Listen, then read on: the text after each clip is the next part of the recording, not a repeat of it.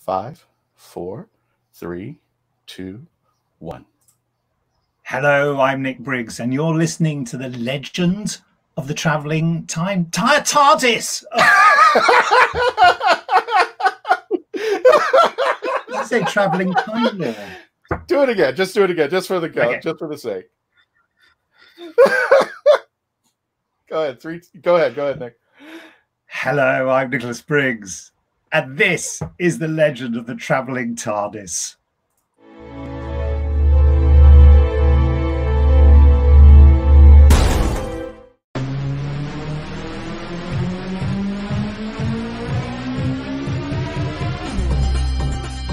My name is Christian Basel. Years ago, I had an idea. I got myself a TARDIS, took it to new places, met a lot of new people, took some great pictures, and talk Doctor Who. From Krypton Radio and the creators of the Hanging With web show, this is the legend of the traveling TARDIS. Join me on my latest adventures and become part of the legend.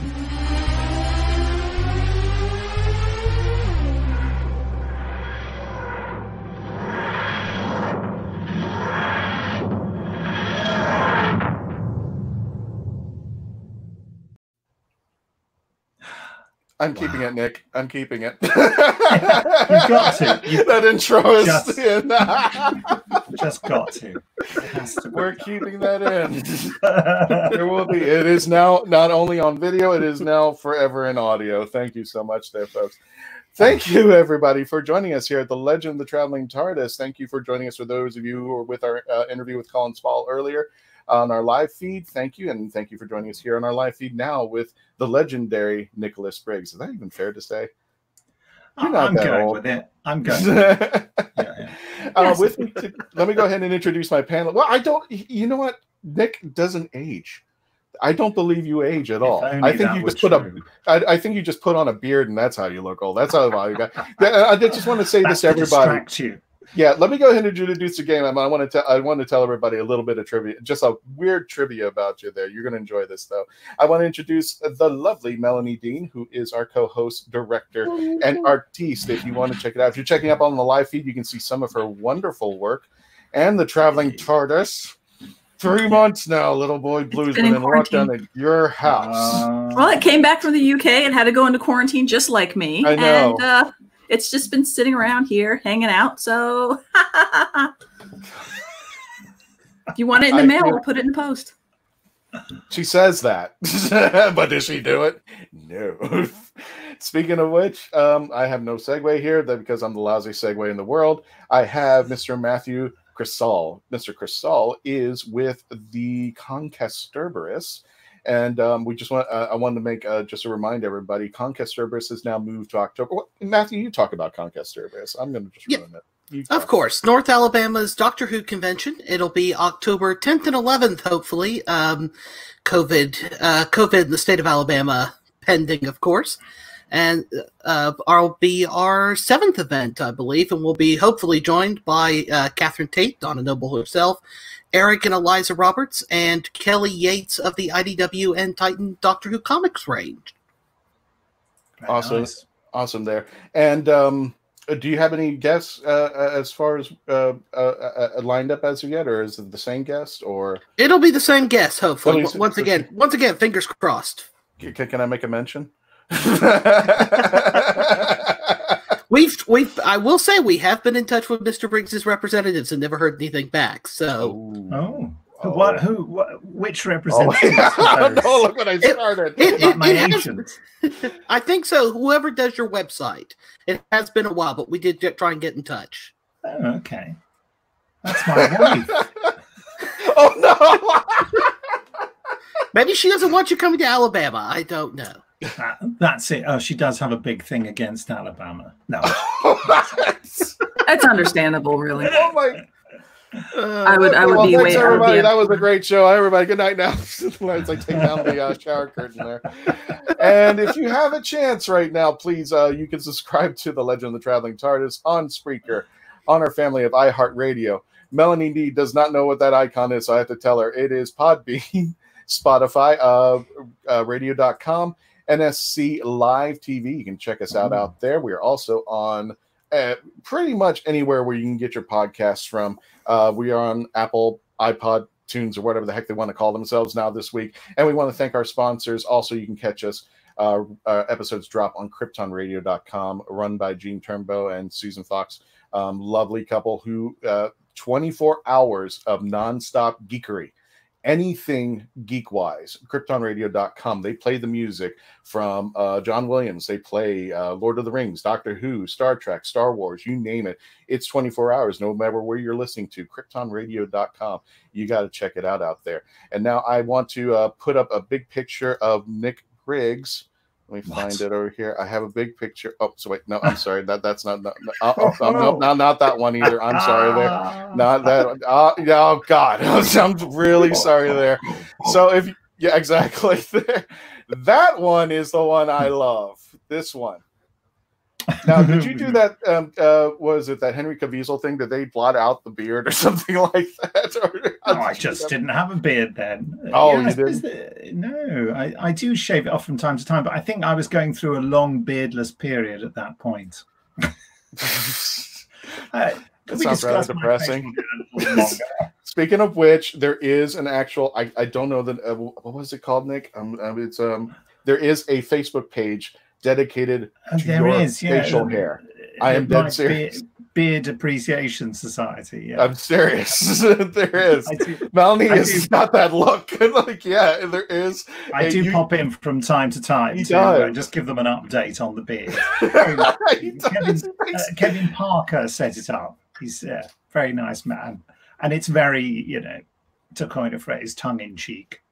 Uh, they're not they're not seriously interested in my bit. They're just having a little joke at my expense, basically. but people, you could have just ran with it. Just say, you know what? There's fans Yeah. of this hair. There's well, fans people of this I know get in touch with me and say, "Am I right in thinking you've got a Facebook page about your beard?" You know, I say, "Yes, yeah, I'm very proud of it. Very proud of it." In all fairness, a lot of people have had have, have had quarantine beards and just qu- quarantine everything. So Hmm. Yeah, Why yeah. not? Yeah, No, no, but I mine is a quarantine beard, but uh, you know, But this it was Facebook there page is- before the quarantine. Exactly. Yes, it was there way before the quarantine. Just like there isn't, and and and Nick goes in there every so often, take a picture of him, so- does a selfie, and just says, "Here's what's going on with the beard today." I'm like, Every now, every now and again, I shave it off completely, and there's you know just to appall everyone. You know, go, "Ah!" actually, the last time I shaved it off, I did not like what I saw underneath. I, Just wait, wait, no, wait, I'm wait, going- wait, wait. Look at that handsome man right there. Yeah, Look but at that that, was years Sherlock ago. Holmes. that was years ago. Oh, that was that, whatever. was at least ten years ago. Melanie, tell me if he shaved the beard, he would still look like that. I absolutely. think I'd, I'd look a Yeah. bit scrawnier. But no, I understand that my husband does that same thing where he'll have facial hair and then at some point where it's just it's got to the point where it's just too itchy. And he's like, you know what? I'm just gonna shave it off and just moisturize everything. And he does it and I'll just walk into a room and go, Who are you? Because Yeah, it's just kind yeah. of arresting because I haven't seen him like that in a while. And then it just Yeah. slowly it, it comes back. Yes, because we get, but once we, you know, the beard I'm bored. is- It's a good, it's a good age shield because once you put that thing on your face, allow it there, it's what people mostly see when they look at you. And so mm-hmm. they don't take so much notice of how everything else is going wrong. That's what Benjamin Cook suggested to me, anyway. You know, Ben Cook, uh, later Doctor Who magazine. Well, I don't know whether he still writes for them, doesn't he? But yeah, he said you've got the perfect trick there because also having no hair at all, you can't really tell how white it's going because it's all shaved off. You know, But I've, I've never heard of that. It's an age shield. That is Yeah, yeah. like the most perfect just my noun to explain shield. that it's, it's protecting me. so if you that. want people not to know your age, shave all your hair off and grow a beard. Like, Okay, that's free I'll get right advice on that. for all of Oh you. my god! I've got the Italian DNA. Oh. I can I can probably was get it. I thinking- can do it. I was thinking of dyeing it purple. What do we think? Ooh, well, you get the get the length and then do the raccoon kind of band in there. That would be that that would be arresting. no one will. That's. Little twist at the bottom there. I'm not, but it does get uh, quite long. Uh, and maybe I could do it then. But it really divides my friends. You know, some of them go, "Yeah, great idea." My wife thinks it's a great idea, but for example, Rob Shearman went, "What? Are you mad?" I mean, he He has was, Rob room was to just- talk. yeah, he has he room was to talk. utterly man. appalled. Utterly Rob was just worried about having his own beard upstaged. No one can upstage that beard. It's like um, you know, the the people who don't like to grow flowers and they just grow weeds in their garden. That's what Rob's beard is like. That's one of those people who doesn't believe in It is kind of wiry. it's a little wiry there. Cultivating through negligence. Just Well, he look, doesn't- look at all this. He doesn't have a vein bone in his body. That's the thing about uh, you know. I I spend ages fiddling around with my beard and sort of you know. People say, "Oh, that's nicely cut, isn't it?" It's about, you know. Well, if you're an actor, you're largely going to be vain, aren't you? Let's, let's face it. Well, we- yeah. Honestly, it's that's that's the moneymaker. You you have to make sure everything is Well, you know Not shored anymore, and but once good. upon a time, it, it might have Oh. been. if, if you're just joining us on the live chat, yeah, we're talking about Nick's beard. That's what we're just gonna do. I think that we just spend an hour vanity. doing this. Yes, vanity. well, speaking of which, you were talking about Rob Shearman. We had him on the show a while back, and he was Hmm. he was going. Uh, uh, you were talking about Van. I just I, the hardest time, the funniest time I've ever laughed is uh, Rob Shearman was explaining um, about he because he had COVID nineteen. He was going like, It "Oh did, yes, I, didn't you hear we had a, pan, a t- pandemic?" Oh it, yes, it's just such an inconvenience. it's like Well, that is bless something. him. Rob, He also he also Rob- wanted to do the the interview. I think two a.m. his time because he's like, oh, Yeah. I, I'm just more lucid then. Oh yeah, Rob doesn't keep the same hours as the rest of the human race. Oh my I god, he's he my- doesn't. He's like, oh, it's almost three. We could keep going. I'm like, really? He- yeah, he's he, yeah. he's my best friend and was my best man at my wedding, Oh. or, you know, t- ten years Oh. ago. So that that's just to prove to you he is my best friend, you know. And and he he is really difficult to get hold of because he lives different hours, doesn't you know conform to other people's means of communication. It's really um, it's always a joy to finally get in touch with him, but Mhm. sometimes it takes me about two weeks to track him down. No, I you're absolutely out. I have a friend. I think we all have a friend like that because I, I have one that I mean I've known him since high school and we won't talk for maybe six months at a time. Ju- not out of maliciousness. It's just he's aloof. It's just how he works. And if I do, it's like two o'clock in the morning on a Thursday. All of a sudden, I get a text message from Marcus like, "Oh, hey, how are you?" You know that kind of that kind of thing. Yeah. And we're just right Yeah. back together again. Well, that is, uh, that's the funny part. It's a, it, uh, because everybody's in the UK. That the, uh, our friends in the UK, Rob Shearman, Sophie Aldred, all of them, and it, it, it's just our relationship. It's just you're busy. I also need emails and say, hey, what's going on? Just just to say hi, you know, and just uh, just to keep up, and it'll go dead silent, and then all of a sudden it will there'll be a Facebook posting. I'll just say, uh, I need to find a way to uh, talk about my new audio drama, and just like do you want to come back? And next thing I know, I'm getting a PM. I'm just like, yeah, I want to come back. It's just like it's just it's all good times there, Nick. It's all it's all good times when you when you when we have you on the show. I love it. Uh, speaking of loving it, I do we do have some chats coming in. We have do have people talking. So let me go ahead. Um, uh, let me go ahead and bring them on there. First of all, we'll introduce Graham Kraus. Good morning, everyone. Thanks for spending your Saturday morning. Well, thank you for joining us here with our special interview with Nick, and want to thank uh, Matthew and Melanie for coming up and paneling up today. There, um, Joel McKeel, howdy y'all, and uh, he does say that not loosely at all. Whatever, howdy, Howdy, y'all, howdy, Howdy, y'all. Um, Joe, do me a Howdy. favor because I was on his show. Send me a link and we'll post it up in there in just a few moments to your show out there. J.R. Hibbard. Now, I don't know if you've ever met this man, Nick, but he is our premier fourth doctor. If you've ever Oh. seen his stuff, he looks spot on. His um, uh, his his uh, uh, demeanor when he goes around the conventions is of Tom Baker's, and he carries Jelly Babies and all that. And Oh. he has Well, he also he has the height and he has a deep baritone as well. So he, he really tries to get within the character. So he, and his, Yes, his costume is beautiful. and he has an Instagram page. I think it's the fourth doctor, the dot dot fourth dot doctor at Instagram. Um, good morning, all. Good morning, all. Thanks, Joel. I'll never get over that. Good morning, all. Sorry I missed the interview with Colin. I have my coffee now, and I'm ready for another great episode this morning. Thank you, Lady Good. Gallifrey, better known as Gina Barres. Good morning, everybody. And I get, I can't Morning. thank this woman enough. I've never really given her her due, but this is Meredith Lawren.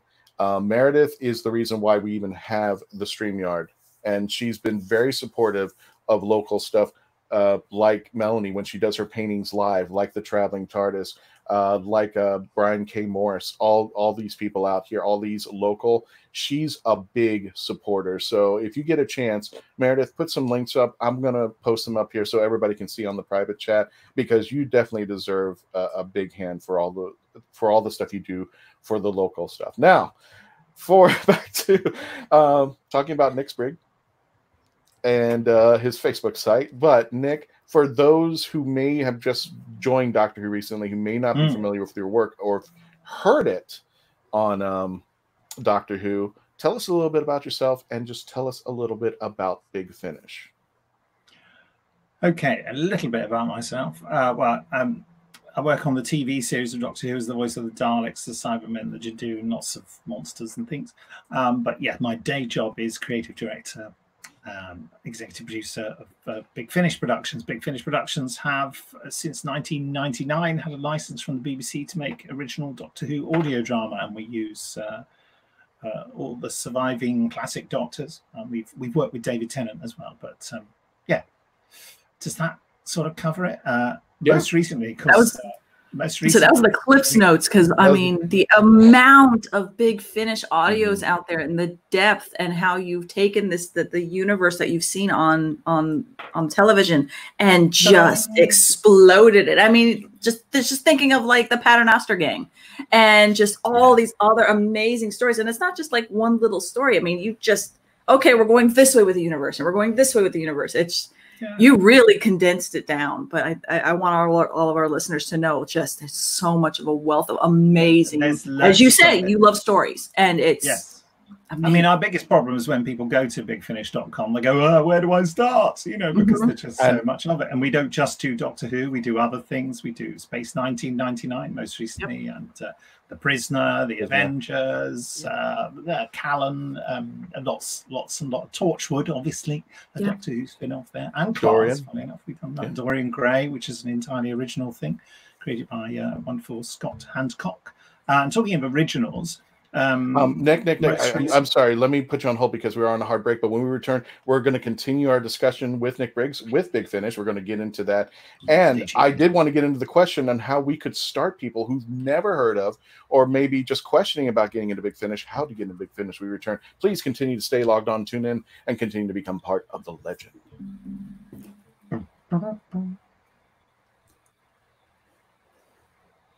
And welcome back, ladies and gentlemen, to the Legend of the Traveling TARDIS. My name is Christian Basel. If you're joining us on the live feed, thank you so much. Don't forget to chat into the description if you're on the Facebook page or the YouTube channel. If you're on uh, if you're on uh, the uh, Krypton Radio Facebook page or the Hanging With, you can just chat as if you were discussing with us, and we'll all see it. Uh, we'll definitely uh, want to continue our discussion with Nick Briggs. I'm here with Matthew Kresal of Conquest Cerberus in Huntsville, Alabama. Check him out on October. We'll get more into that discussion at the end of the show. I'm here with the lovely director Melanie Dean, as well as co-host and artiste. If you're watching live on the YouTube channel, uh, on the uh, the Facebook or YouTube channel, you can see all of her magnificent artwork in the background out there. Yes, gorgeous artwork here. But speaking of gorgeous, where we were talking about man's facial hair, this is Nick Briggs. Uh, I, I wanted to continue that discussion that you were having there um, because we Mm. were going into how much how much product Big Finish has out there. And yes, uh, Big Finish, we do love stories there. If you, after the show, please check it out at bigfinish.com. Bigfinish.com. But Nick, go ahead. Originals to 'em. Just saying yes, originals Oh I my was gonna, goodness. that's Yes. right. Um, uh, to celebrate our 20th anniversary, which was a year or so ago now, we decided rather than looking back and celebrating all the wonderful stuff we have done, we wanted to celebrate our creativity. So we came up with the idea of doing an originals range where we created uh, completely original stuff, not based on established franchises, just to sort of demonstrate our own creativity. And uh, I have written and directed and created a, a Big Finish original series called The Human Frontier, which is a sci fi epic, which has just recently come out. And I'm really grateful to say it's had rave reviews. And I've just had a, a second series confirmed.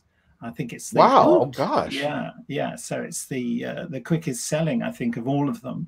Um, and uh, yeah, check it out. The um, the first episode is actually free on the site, and that's something where you were talking before the break about Mhm. you know what to pe- how do people get into Big Finish? What what do they do first? And if you go to bigfinish.com and you collect uh, you click the collections tab at the Mhm. top, you can see that one of the collections is Big Finish for free.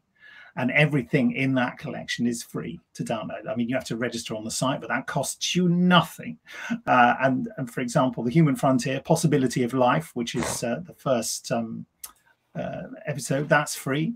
And you'll see loads of first episodes of things to give you a real taste of what's going on. I'm just scrolling down now, and it just goes on forever. There's a unit, there's uh, the Companion Chronicles, uh, the Daleks. There, there's H.G. Wells stuff, uh, the Shape of Things to Come. Uh, I just Dan Dare.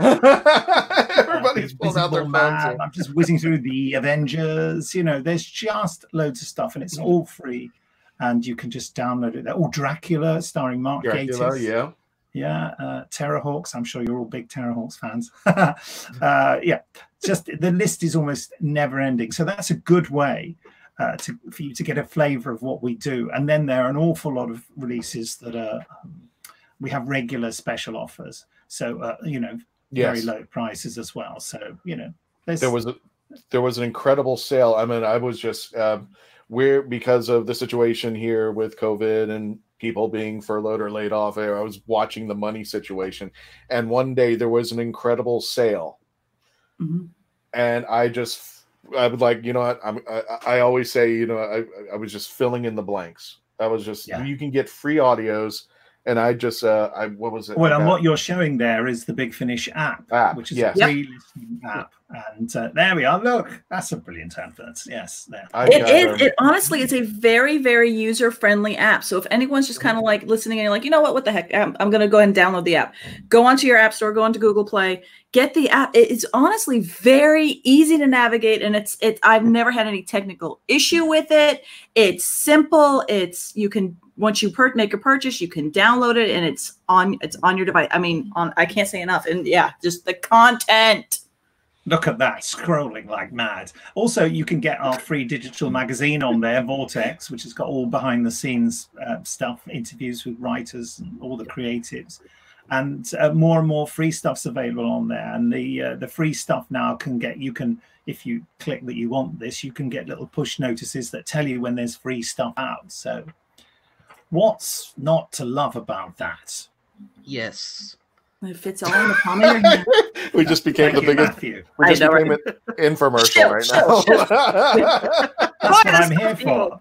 for. no, there was there was one day there was talk about the human frontier. yes we are, Yes. Yes. But we got to make some sales here. That was, Yes, but yeah, please. there was there was I'm some going to look at the sales figures after this. And if we ever sell one copy of the Human Frontier, I'm going to want my money back. Oh, hold on, I haven't paid it. Hang on a. Send something. It. sending. Yep, we got to get it. But yeah, uh, there was there Now, there. question: I know that you haven't heard the Human Frontier yet, and you said We, that I, I've got yeah, to, I just I've got just to convince you to to get it. What what what do you want to know that would convince you? Uh, you wrote it. It's big finish. I think that was enough convincing right there. I just but well, time, but but, but yeah, it's just simply time because uh, there was one big sale. I've got to confess, uh, and I literally I'll read off the titles. I just went Mm. insane because, like I said, I I normally just like I wait for the sales. I got the um uh Doctor Who ID, Medicinal Purposes, Night Thoughts, Scaredy Cat, Scherzo, which is one of my favorites. Rob uh, uh Rob Shearman. Yeah, I hate that one. You hate that one? I'm you always saying serious? that to Rob just to annoy Rob. I really hate it. Just What's that about? so I can know say that our, he's my best friend. I know Yeah. Christian had made us um not made us, but it was the, the he put out the edict of everybody saying, Hey, download the War Master, you know, Oh, beneath yeah. uh, Viscoid so we can start because that's going to be the next big finished review that we're going to be doing. Um, so I'm I'm I've I haven't started yet, but I have I purchased and downloaded it and I just need to. And, Yeah. It's a fantastic set. If you haven't heard the War Master, that first War Master set, it is a fantastic piece of work. Love, And- I love the theme tune as well. I Thought they did a great Yes. job of that. Yeah. And, and, and as Nick says, you can actually you can get first portions of audio. The, the way that I've mentioned is uh, the, the free comic book day, there's always the first intro to that series. If you're not interested, you don't have to get, but you at least listen to a portion of it. But Exactly. I, I got to say, I don't the the the free ones. Uh, Jenny, Jenny one. I uh, Jenny, yeah, the doctor's the- daughter. Yeah. the yeah stolen goods i'm going to be getting into that when i have time there's just no time in the world I, That's the I, problem, isn't it? download Yeah, yeah, because when we used to go to conve- what i used to do is because i have uh let me get here oh god And he's left. And he's He's gone. going- Anyway, Don't leave me. I- I'm- He's highly in the man professional cave. we have. no this he's, yeah. no i will tell you this is just to the left. a thumbnail when i used to go to conventions and go and uh Yeah, you know yeah, get the yeah. cds Yeah. uh, because I would listen to them because the conventions would be in like Lake City or Miami, and I would listen to a whole episode on the way to the convention and on the way back. So it made my trip. But now I can listen to them on audio, put on Bluetooth, and just and just go. But I still have all of these, you know. Um, oh yeah, But you Gallifrey, them. the Gallifrey Oh, yeah. series. We almost forgot about that. I Yes. love Very her as the as the third Romana. She has Oh, done yes. an excellent Very job, popular, Juliet very Landau. popular. So yes, um, So Okay. what what is the human frontier? What is the, the, the basic? I know. Let's back to topic, Christian. Just Yeah. come on. Come on. okay well you got to convince me to listen to What the is the Frontier, human which, I, which i'm already going to listen to but let's let's he- let's hear you got to It's convince me it's it's an epic sci-fi series. It's an epic journey as well. It's about um, it's about many things, but the the uh, original idea was I'm fascinated by the idea because you see it on social media all the time of how people from different versions of human civilization clash all the time because they have different ideas about what they hold dear to themselves. And I always think that in Doctor Who, you know, uh, people are always a bit suspicious about the ones that go into the past. But you know, the past is is like uh, an alien planet, really, Mhm. with different people and different values. And I think if we were really to just travel back 50 years, we would all find ourselves in a very uncomfortable position with the way we speak, the vocabulary we use, the Mhm. assumptions about what is true or important, all those kind of things. Imagine going back 300 years, it would be almost impossible to survive, I think.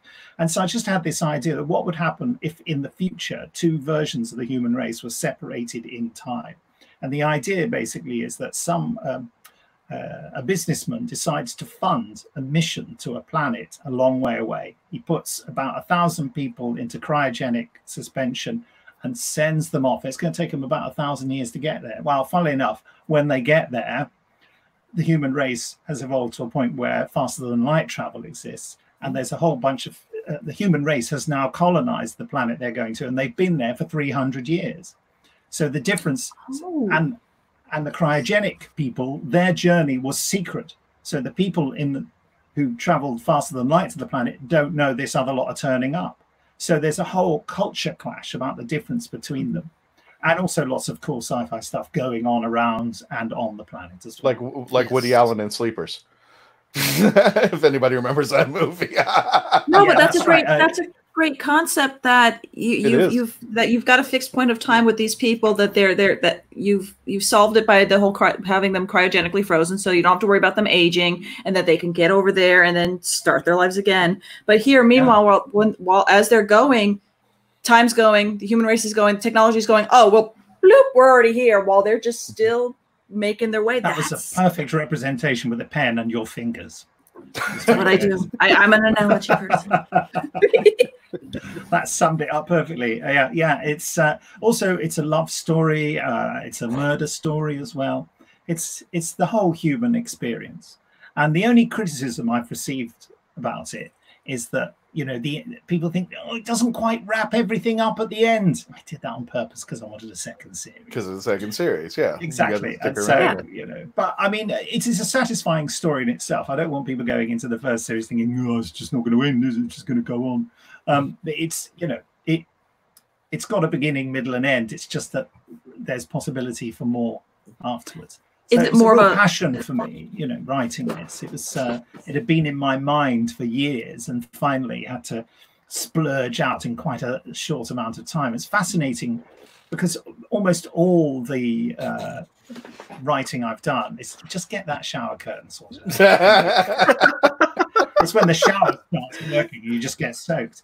Um, all my writing has been for other people's ideas. Doctor Who, Yeah. um, Mhm. 1999, um, The Prisoner.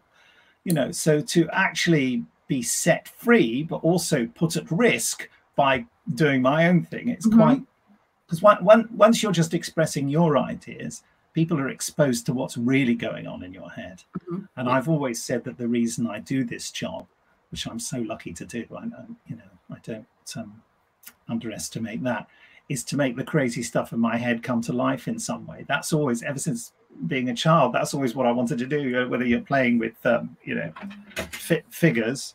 little Dalek guest appearance there. Oh, uh, uh, Christian's looking for his now. he wants And to join in. Let's do, let's do a movie. Okay. Let's We try get- that files. We can do a big finish audio right now I'm if we looking. wanted to. I have yeah, a Matt Matt- Smith. Matthews Matthews one is my favorite actually. This Yes. was, uh, Oh. Character Options sent me this one because they thought I'd like it, which is nice. Actually, I say one. There's I, two I just like him. He was ten bucks. Uh,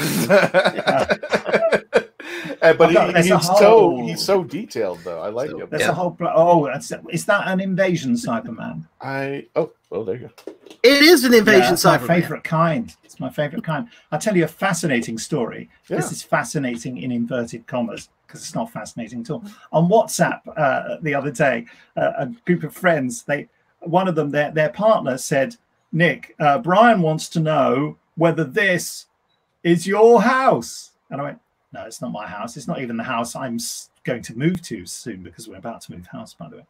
Um, and he said, uh, the reason he thought it, she said, is because it looks like this, which was an Earthshock Cyberman.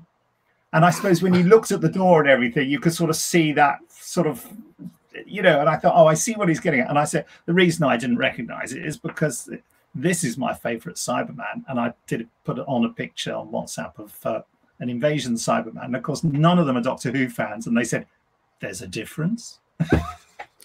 so just like, what? Yeah, what? Of course, yeah, there's a yeah. difference. Don't don't don't. I told you it was The diehard Fascinating. Whovians will get you. they will Yeah, eat you absolutely alive if you get them all wrong. later. I'll tell you a fascinating fact about me moving house, if you like. Yes, actually, uh, we'll, we'll hang on to that fact. Let's Let's get back to the them. chats there. Uh, we have party music DJ Aki says, "Hey, okay," Hey, and there's Jr. oh, Hibbert. J.R. Hibbert. Yep, he, the fourth Doctor Mhm. cosplay on Instagram and newly created and still loading hundreds of pictures. Yeah, he's still uh, he just created the Instagram, but if, you, you got to check it out, Nick. He's he's it, it's I can't do there. Instagram. I'm too old. Okay. Twitter, Twitter is my limit, and even That's that- mine too, and then I I'm can't even go on of it. Twitter too much. Yeah, I just I, I it's a I can't. I just go in there and it's like uh, it- it's like walking into a warring faction and then walking out. I'm like, no, not today. it's, just- it's just crazy in there now. Um, but Graham Glorious. Krause mentioned Doctor Who Victorious and looking Oh, yeah, forward to Time the Lord Victorious. Oh, Yeah, Time, yeah. Time Lord Lord Victorious. Victorious. Time Yeah, Victorious. yeah. Listen, I'm the guy who got the intro wrong, so I'm not correcting anyone. Hello, says Kevin Mays. Woo.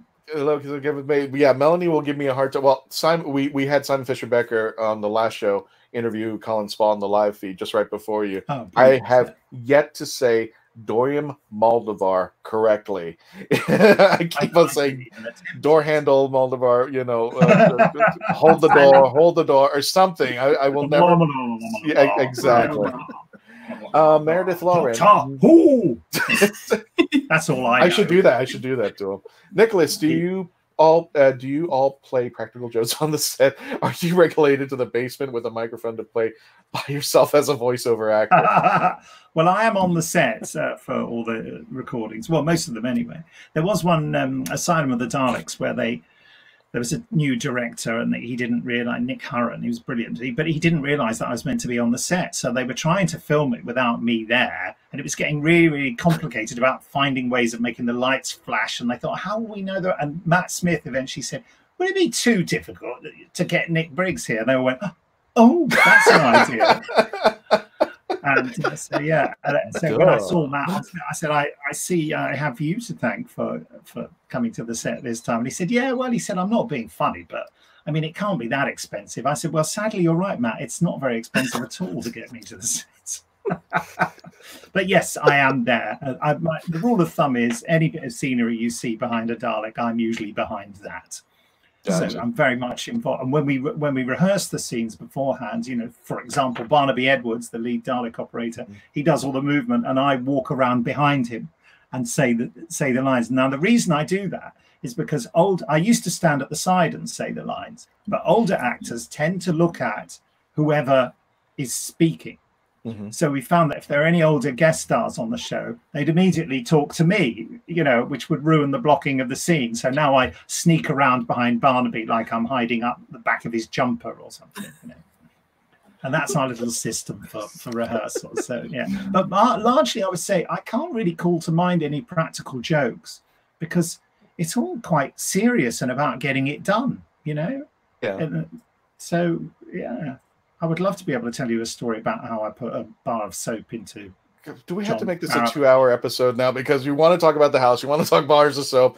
Speaking of bars of soap, I don't want to talk about bars of soap anymore. you wanna talk- Speaking of bars of soap, we're on a commercial break. When we return, we're going to continue our discussion. Melanie is just giving me a dirty look. When we return, we're going to continue our discussion with Nicholas Briggs. When we return, please stay logged on, tune in, and continue to become part of the legend. Destroy the files.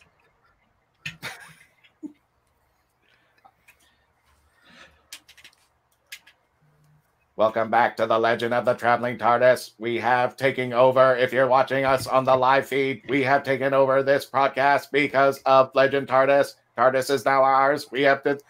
Oh wow, what's Nick doing? I just saw a close up of Dalek. I don't know if you. I I don't know. uh, You're not. It's like that. hearing It's this. like that scene from the first Dalek story when they give him the fall medicine and everything goes crazy. Yeah. It got- if you're listening to this on the audio, um, we- uh, uh, Nick, Don't explain. Just keep going with it. Let people keep going. Just keep stitch going. it together. Nick, Nick imagine has pan, Nick has panned the camera down towards his uh, uh Desk. towards his Dalek. Daleks. Daleks. Yes, you. so we can Don't see his pause at that Klingons. point. He's panned his camera down towards his. Daleks. Is this a Mad Libs now? Before we gone to... Anyway, speaking of Mad Libs, back to your chats. This is Faith Kelly. Um, she's our premier 13th Doctor. She's gorgeous. She's absolutely gorgeous. Good morning, yeah. And she says hello, good morning. But uh, uh, uh, Faith, give us your um, Instagram link so we can. She is gorgeous. I, I meant there's very few 13th Doctors I have. We have. There's actually on the uh, Facebook page, The Legend of the Traveling TARDIS. I actually have an album called No Sir All 13s, and it's nothing but pictures of the Traveling TARDIS with 13s. All Oh, the wow. girls and a few guys who have posed as the Nice. 13th Doctor there. That's yeah good. just for on in that. honor of them. Tanya Harper, Hola. hola.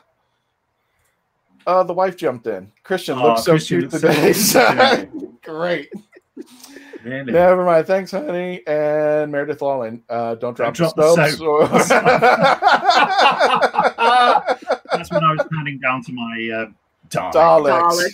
Daleks. Daleks. Okay, so- go ahead. No, go ahead. Uh, and go, um, Faith No, Kelly after you. "Well made.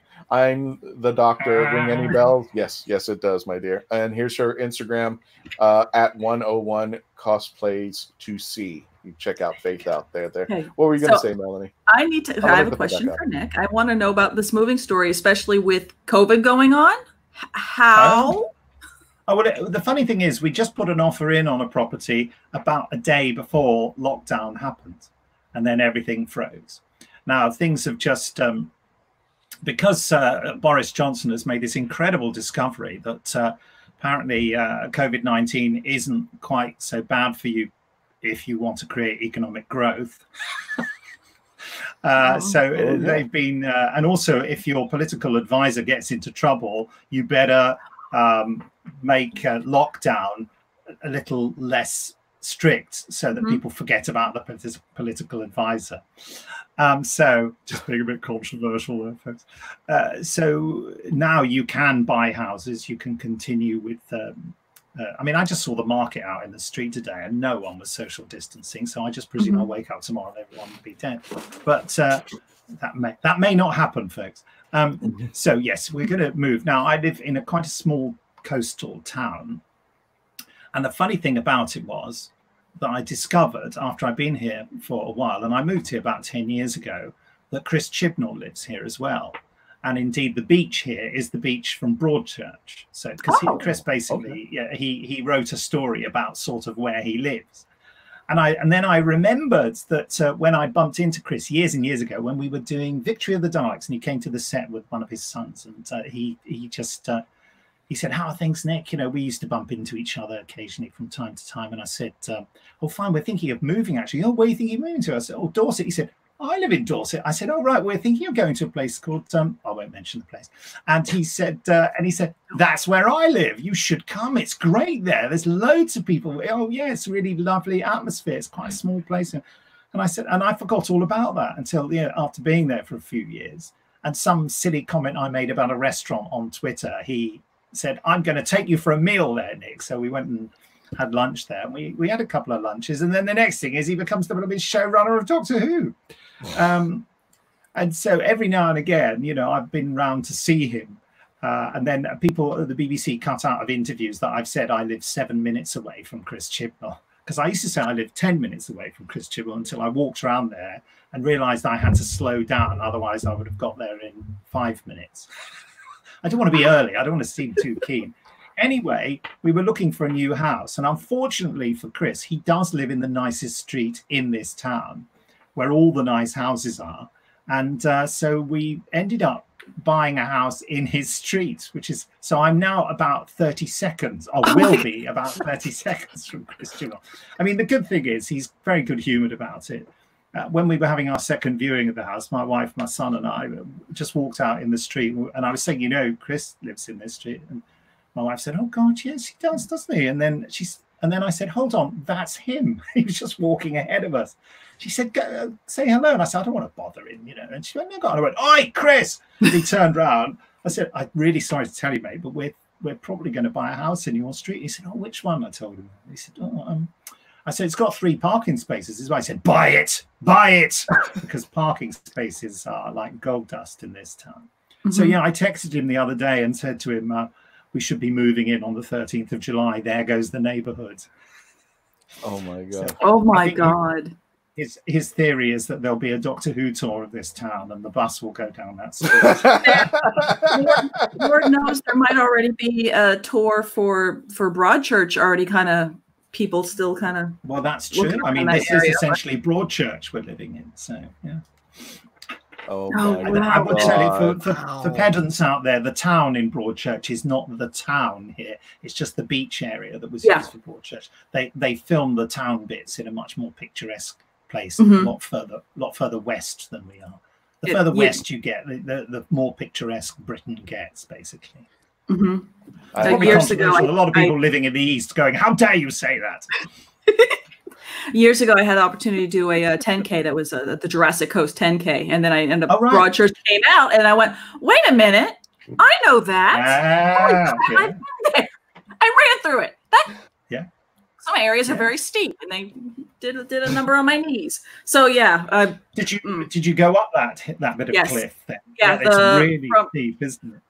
Well, I know one side has stairs, or, or yeah, I guess you could call them steps because there's some wood planks to help get you up. But the other side coming down, yeah, there's that faces. I think it's more the picturesque stuff that you saw on on the Yes. show. That's there's nothing there. You just No. keep going, pray you don't fall, and if you do, tuck and roll.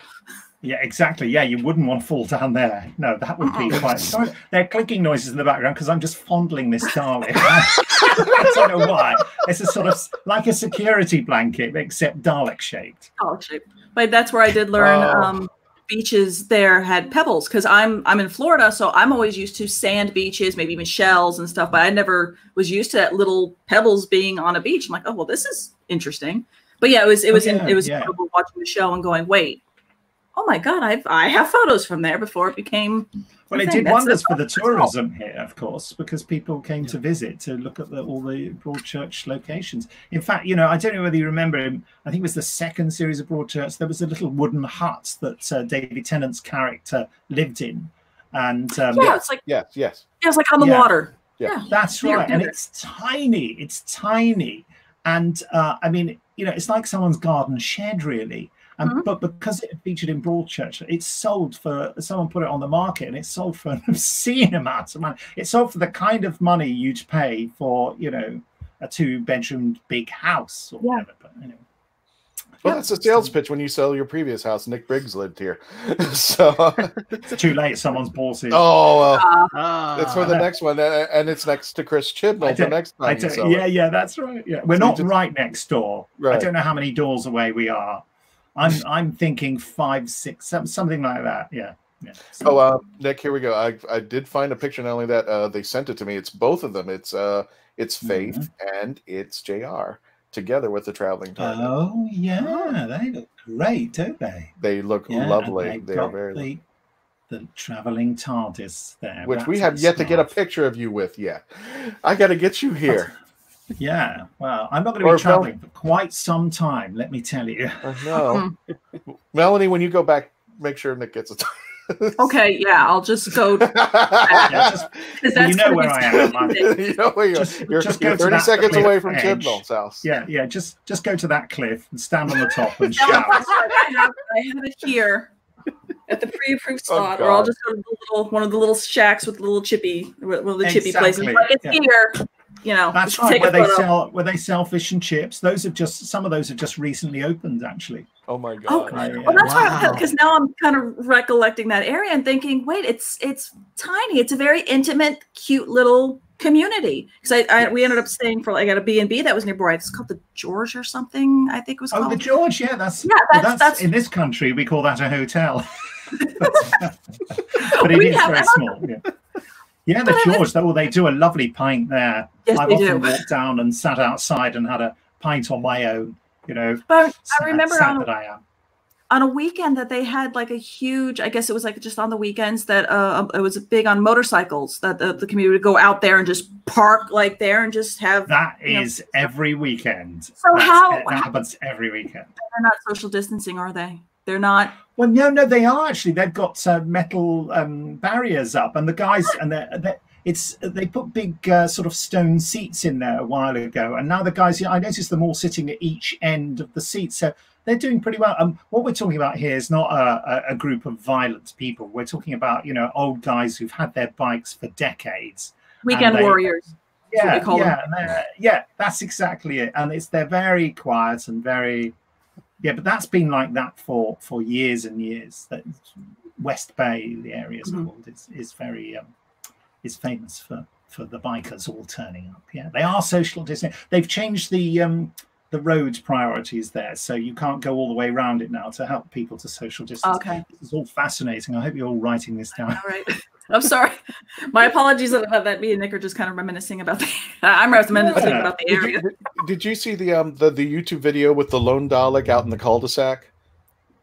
It Yeah, was, what was it- he doing? What where it got picked up by the the trash van or something? no, no, no, no. It was it was just moving around because everybody was in quarantine in their houses. So, isolate. so yeah, Yes. so the Dalek's Yes, moving yes. around in the cul-de-sac by himself, going, "We have taking over." it was just so cool. Everybody stay in your homes. I'm like, and the Dalek was enforcing the uh the the, the lockdown. So I'm like, this has got to be the best way to tell people stay home there. Oh, brilliant! Speaking of staying home, let me go back to the chats just a little bit. We want to introduce Don Coulter. Good morning from North Cal- Northern California. Yeah, well, th- thank you, Don, for joining us out there. Morning. Um, Meredith is back, and she says, "Is that a Dalek in your pocket? You just happy to- oh, shame a on you, girl. Shame on you." There's Oh. a Meredith. Bad, bad. I love you, but bad, bad, very yeah, bad. we, we love her because she's bad. I think you'll find. Yeah, exactly. That's it. Faith is back. Uh, Florida beaches are full of shells. Tread lightly there. Dredging And uh, JR says, Love that picture. Faith is awesome. And right back at you, doctor. So the doctors are talking to each other. That's uh, nice, isn't it? It is nice. And um, It's like being in a Doctor Who get a room. it's like when the two masters get together, uh, Missy and Master, and they're all flirting with each other. It's like those two. It's like, you, you two, no, no, no. Um, speaking of flirting with each other, when we return, we're going to uh, conclude our discussion with Nick Briggs. We, we promise we're going to talk more about his new audio book, The Human Frontier. When we return, please continue to stay logged on, tune in, and check out bigfinish.com when we return. Please continue to become part of the legend.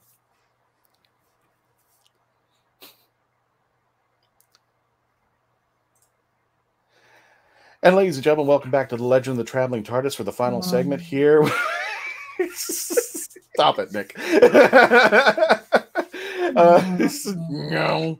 Uh, for the final segment here with our interview with Nick Briggs, uh, known and best as the voice of the Daleks and other other lots of other monsters as he's put into our intro beforehand, and also BigFinish.com. Uh, Yes, if you could line up every audio Doctor Who audio book, line them up against all the video Doctor Who's, I don't even think they come close to the videos wise to the audios. I think that I think time wise, I think the audios are there are more audios than there are videos in length, right? I think hour wise. I think you may be right. I think we have done I, more. I think I think there's more audios than there are videos. Yeah, yeah. I wouldn't like to, you know, um, swear to that, but uh, I'm pretty certain. I, I think I think it's almost well. Everything in now with the uh, with uh, Torchwood, with all the other audios out there. Um, definitely, you definitely surpasses it. But that includes all the, all the shows that, that exist. It's amazing. We're talking more about his new book. Where is it? Sorry, his new audio, The Human Frontier, and I believe that's the cast, if I'm not mistaken. That's Is that right. It's a very small cast, really, isn't it? Yeah, Uh, it is. mm. But it's an epic story. who's the woman on the right? Because she looks so familiar.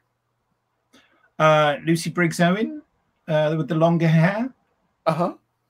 Yeah. Uh. Lucy's been in a lot of Big Finish stuff. She was in uh, the the War Doctor, actually, the first one, Uh huh. playing uh, Yeah. uh, the companion in that. Lucy does lots of stuff for us. I actually told her a while back that the rule was she had to be in everything I directed. so okay. I can't quite make that true. And the fact, by the way, that Briggs is in her name, uh, we are not related in any way. I don't, okay. I don't, I don't think Briggs is actually uh, really a part of her name. It was sort of inserted there be- to make her name different for the Actors Union equity. So yeah, she's not a Briggs at all. I think she's an Owen. Oh, Um, okay. yeah. And what And about the other? The What middle. about the other cast members out here? Well, there's Clive uh, Wood, who's just behind Lucy there, uh, Uh-huh. who is, uh, um, you know, I was so pleased to work with him because he's someone who, you know, when I was growing up, I saw at the Royal Shakespeare Company and on so many big TV dramas. And he's such a fantastic actor with a real sort of Shakespearean energy and power to him. Pector in the middle there sort of plays the main character. Mhm. She was new to me, but um, uh, she was recommended to me by Scott Handcock, who does a lot of directing and producing for us. And I heard her clips and just thought she was amazing. And she has a sort of, um, uh, she was always apologizing for herself, saying, Oh, I haven't done much audio. Am I doing it the right way? Sort of like getting really involved and being physical. And, she, and I said, That's exactly what it's meant to be, Petter.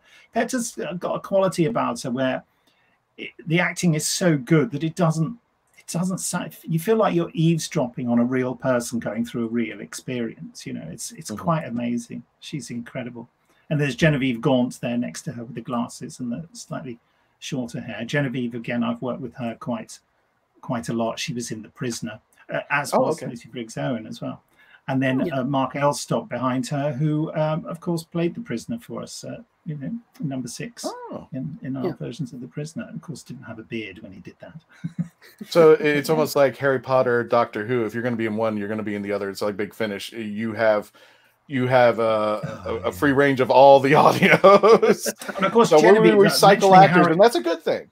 mentioning Harry Potter there, Genevieve was in the Harry Potter films when she was a kid. Oh, So, know, I can't remember Yeah. who she played, but I've seen photographs of her for, as a little tiddler. I'm, I'm just curious what what inspired you with the story of the human frontier? Where does that originate? Where does that come from? The inspiration for me is just this whole business of how everything is about context. You know, we try to create rules for ourselves, but given given you look at different views throughout history, Mhm. and we we change our minds about stuff so often, and yet we're always so certain we're right about it. Right. You know, I think there are certain. I mean, you say thing you would say like, oh, killing people is a bad idea, but there have been times in history when killing people has been fine, isn't it? And there are still times in history. If there was a big war tomorrow against someone that we all thought was terrible, we'd suddenly reverse our decision on taking human life, wouldn't we? And and yet we think that's a solid. Um, I mean, I don't want to get into specifics, but what I'm saying is that's what fascinates me about human beings. We're always so Mhm. certain that our world picture is correct. I'm as guilty of that as anyone else. I'm not accusing any anyone of anything that I don't think I'm guilty of. And yet, that's what I wanted to do. I wanted to put people in a situation where everything they believed was questioned and the fear and the anxiety that creates and how you can ultimately resolve that or maybe you can't ever. I mean i'm a little bit pessimistic about humanity uh, but at the same time i'm extremely uh, inspired by us as well. I think we can do incredibly good things. I mean this whole pandemic that you've seen i mean you've seen examples of both kinds of behavior really haven't you um, Mm-hmm. yeah so that was the if you're asking me for the root inspiration that's what i wanted to do. And then of course i want to do stuff with lots of cool spaceships and uh, and monsters and spacesuits and uh, and stuff like that because that that's the window dressing i love. Um, so yeah that was and i wanted to create a, a story that spanned centuries and really touched on you know the nature of humanity. And i was very pleased to come across that uh, uh, title which uh, although i believe has been used as a star trek book title It has. it's, um, but it's uh, yeah but i've n- i've never read that book um but uh, and it, it has uh, um but i've trademarked it so it's mine Ah. Nice.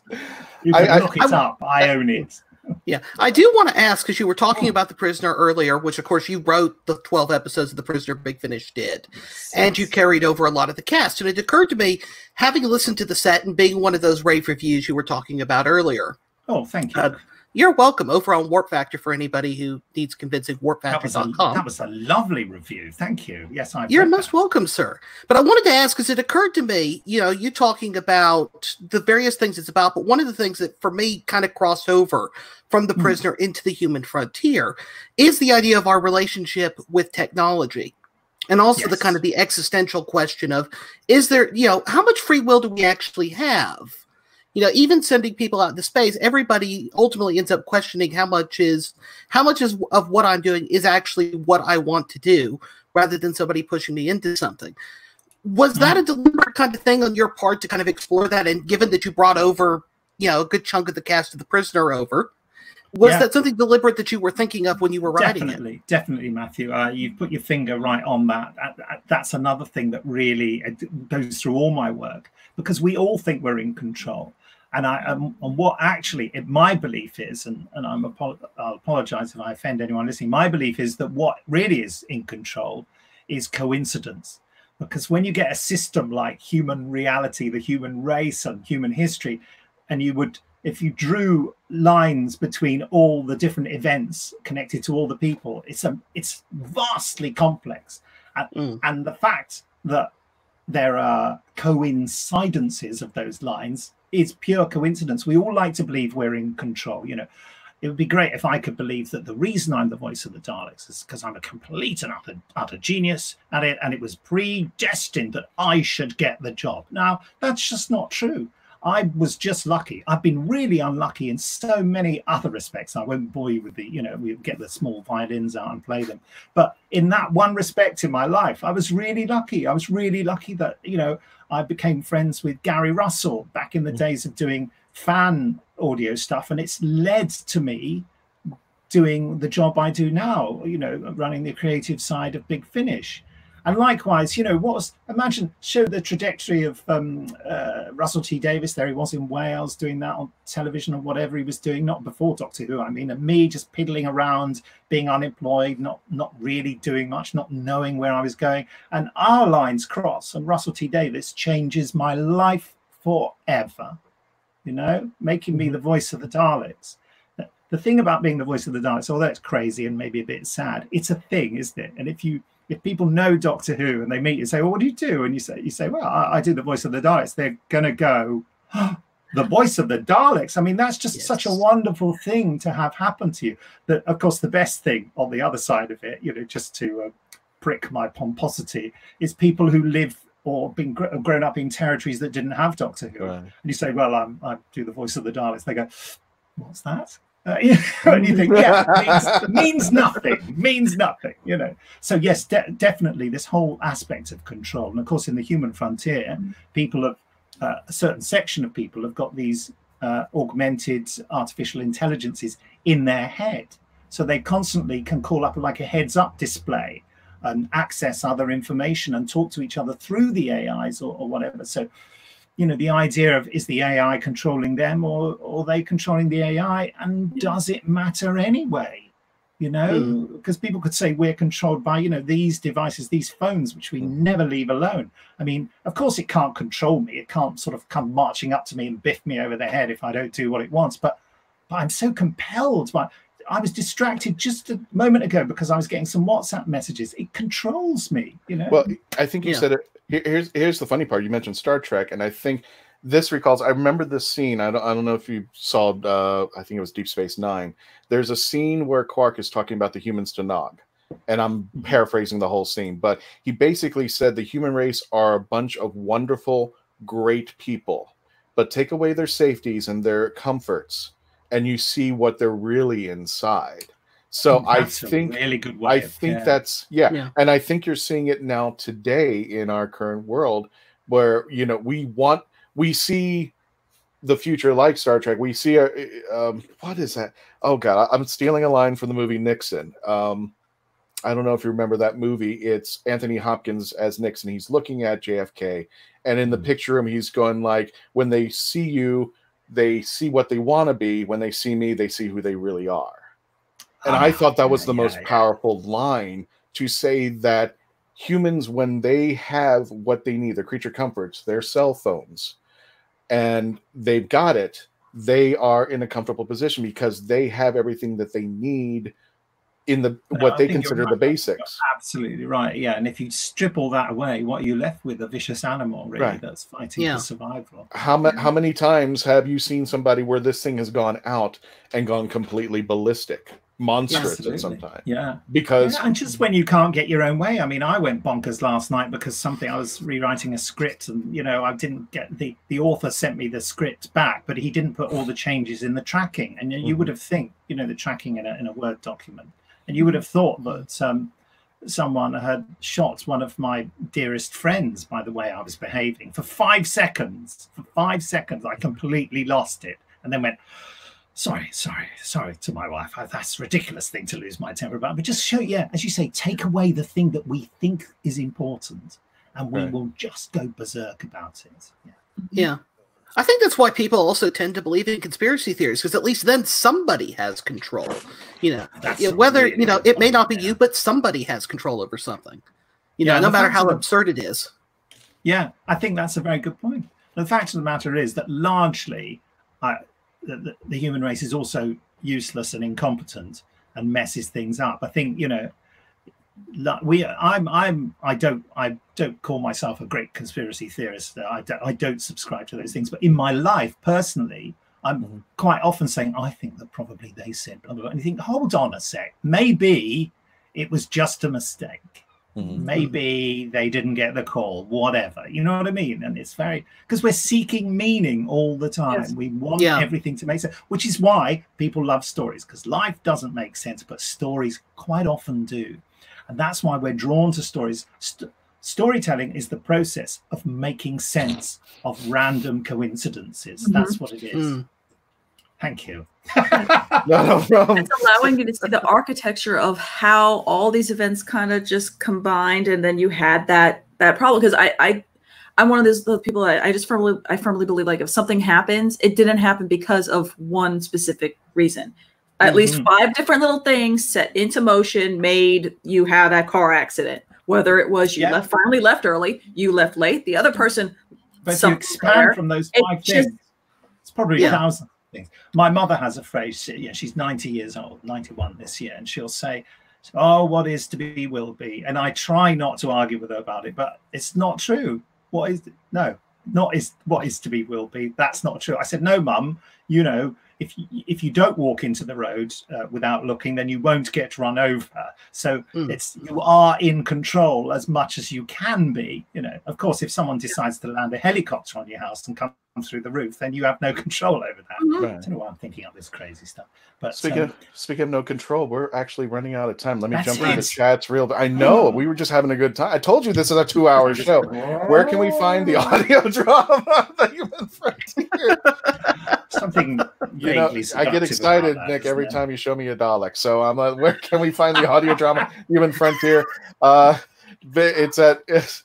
BigFinish.com. There it is. Bigfinish.com. Tell them the legend of the traveling TARDIS sent you there. Um, let's get back. Uh, let's just finalize the chats. Is there a line or quote within the human frontier that is your favorite? Ooh, that's a good question. Oh gosh, that's wow.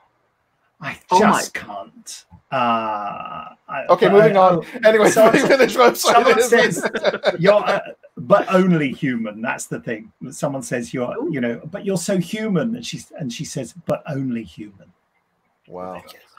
Gotcha. Uh, Chris K. David, thanks for joining us from Big Finish website. Oh, he puts a link up there. Ranges Drama Showcase. Thank you. Thank you there. Oh.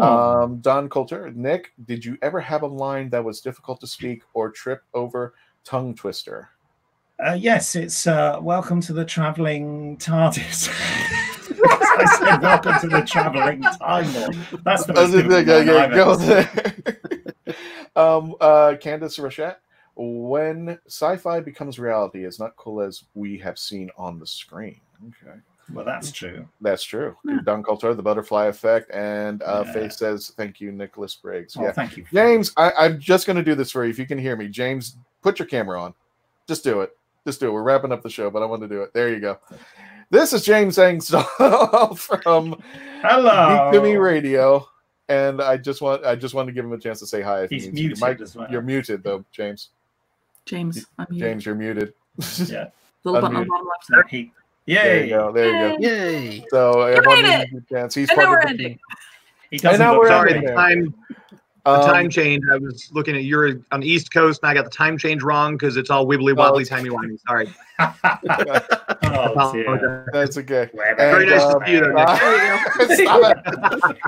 Speaking of which, Nick, Faith asked me to do this. This is her as the 13th Oh, Doctor. Looks fantastic. She looks Yeah. absolutely Wow. gorgeous there. yeah. Uh, f- uh, thank you, Nicholas Briggs, for coming on here. Bigfinish.com, please. Bigfinish.com. They have sales. Where do you want to start? Well, you know what? I'll tell you what. If you want to ever PM me or just send me a message, I will help you out start. It took me a while. I started at um, The Holy Terror, which is still today my favorite uh, episode because it was something that was kind of unique because I, I, Yeah. it started off what I thought was going to be a comedy and ended up in a heart wrenching tragedy. And And that's it- what made me friends with Rob Shearman. I thought I have to meet the man who wrote that. Yes, it was. It was just a piece. It, it's it's a gorgeous piece of work for me. But you can find your own stuff at bigfinish.com. And again, please tell them the legend of the traveling TARDIS that sent you there. Nick, any final words? Definitely want to check out the new audio of the the Human Frontier. I'm we're going to be downloading it and reviewing it later on, and then we can harass Nick when he's not here. talk Yeah, about yeah. his I talk will, about his new audio. I there, will be but- listening. Yeah, my final word is that uh, I regret my remarks about Rob Shearman's beard.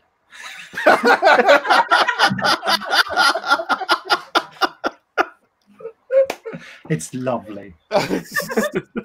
Anything else about Rob you want to regret, or just his beard? It's not like a we a garden full of weeds at all.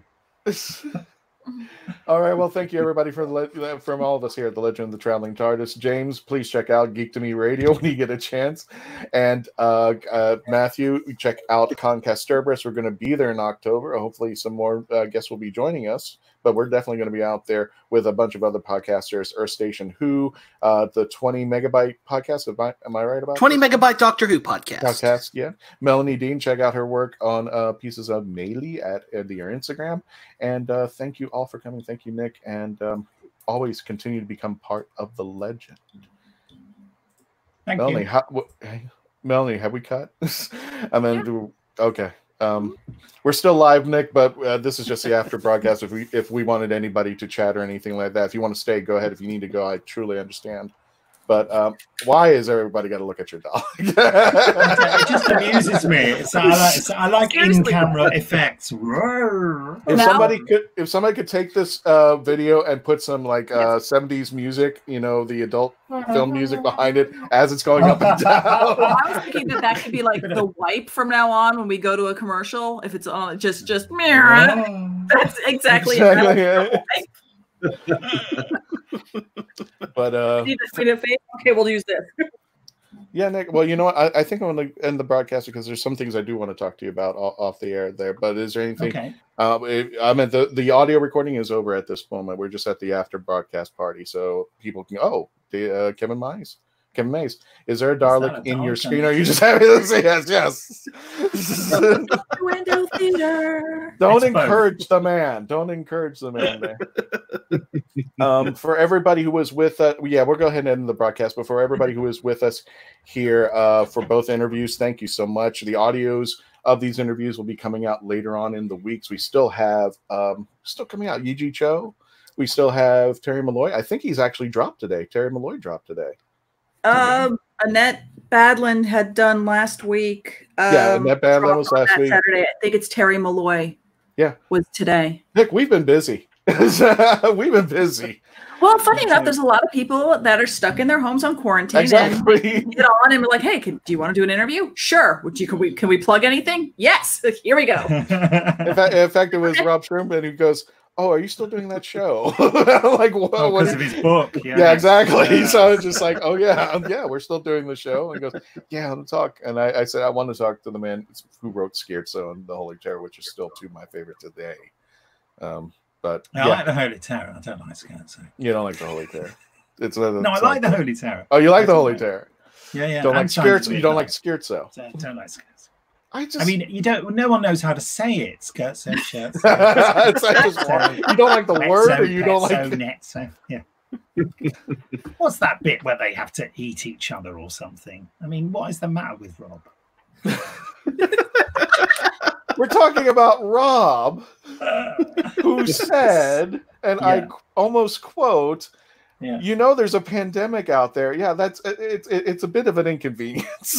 this is Yeah, the yeah. same man. So That, that'll be Rob. That'll be that Rob. be Rob there. That Um, entire interview was just him on a microphone and us giggling like I- idiots. exactly. That That's was literally it. it. Was like, hold on, we gotta go commercial. Okay, and Rob, go. and, we- and we started doing something which is now catching on um, recently. Um, muting him. No, well, muting him, yeah. Um, but we had uh, we're, we're- kind of growing into this now too because uh, I don't know if you know Simon Fisher Becker is part of our panel. He literally is part of the traveling TARDIS panel, and he actually gets to Mhm. interview the other actors and and and and techs and all those guys who've worked out out there. Unfortunately, he wanted to be on this episode, but he couldn't because of time wise. He had Oh. uh, he had something going Well, on. I'm sorry to miss him. He's a charming fellow. He is a wonderfully charming fellow. However, um, we I decided we were going to interview Tim Treloar, and I finally got a hold of Tim. Hmm, yeah. And we I had just Tim. recently interviewed Katie Manning.